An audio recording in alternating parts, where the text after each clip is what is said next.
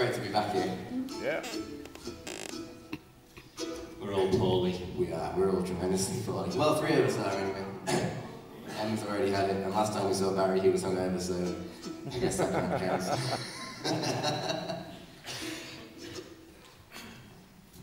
We're going to do a tune by Elle now.